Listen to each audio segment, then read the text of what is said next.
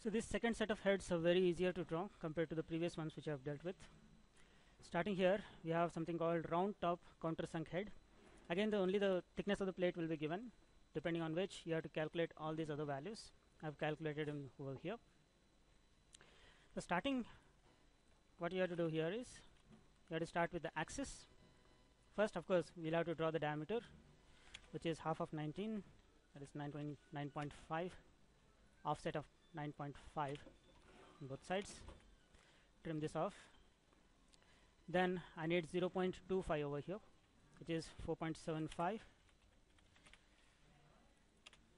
Then I have 45 degrees of taper which I have to take from the bottom point over here and if this 45 degree is not showing up you'll have to change this polar settings to 45 and ensure this polar setting is on do this on both the sides. Then trim off the extra sides which we don't need. You have the top part ready. Now coming to the height of this bolt head we have 0.2 times the diameter. That comes out as 3.8 so offset 3.8 and I can take an arc to join these three points. A enter first second and the third point so this completes our diagram. I just need to delete these extra lines to give the finishing look to the rivet. Coming over here we have something called flush countersunk head. Again only the thickness of the blade is given. You have to calculate all the dimensions and start drawing it. First of course we'll again start with the diameter offset 9.5 which is half of 19 mm. And then over here we have 0.25 I've calculated it as 4.75 offset it below. Again I need 45 degrees on both the sides. So again I have to draw 45 degrees. As I have told previously you have to ensure that the polar setting is on and uh, the angle setting is kept fixed at 45 degrees these lines are not visible. So this completes the flush countersunk head. Coming to the next we have something called flat head. For the flat head again you have to do calculations. And uh, have to again start with the center line. As usual I have to offset 9.5 on both the sides. And then I have to take the height which is 0.25 times d. I'm getting it as 4.75 then offset 2 times d which is 18 technically I just have to take offset of 19 on both the sides which will double it up. Now I'll just extend these lines and trim these off. If it is not trimming you just have to delete it. And I'll just trim these off. Now what we require here is round edge.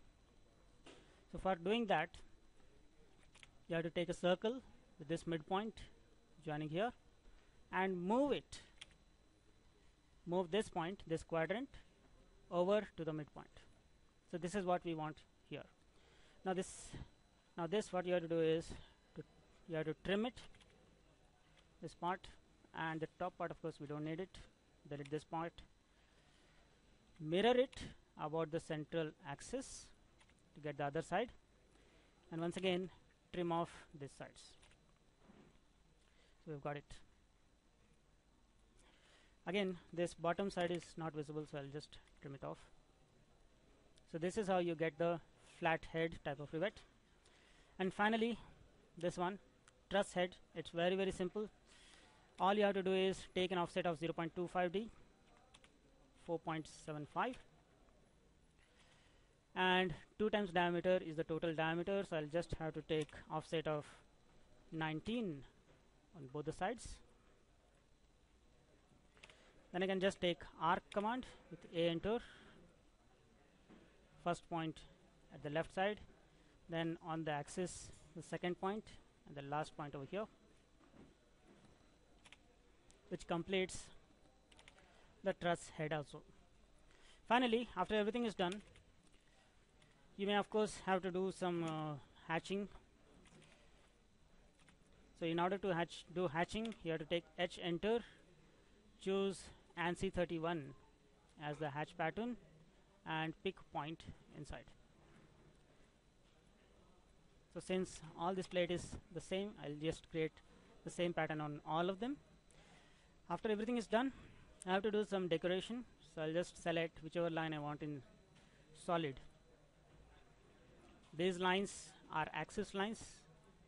I'll just move them to the axis layer. I might have to extend it a little for the axis lines to show up. Now you, you can't see any thickness over here.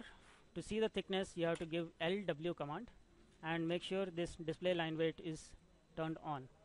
Now you can see the thickness of this.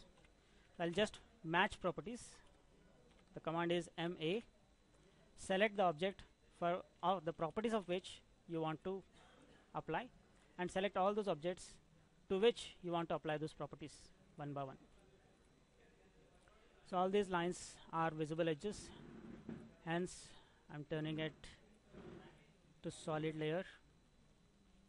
Okay. And finally the the hatching lines. I'll just move it to the dimensioning layer to get them the same thickness. Okay so that's about everything that we need. Thank you for watching this video. If you like this subscribe to the channel to keep yourself updated with more videos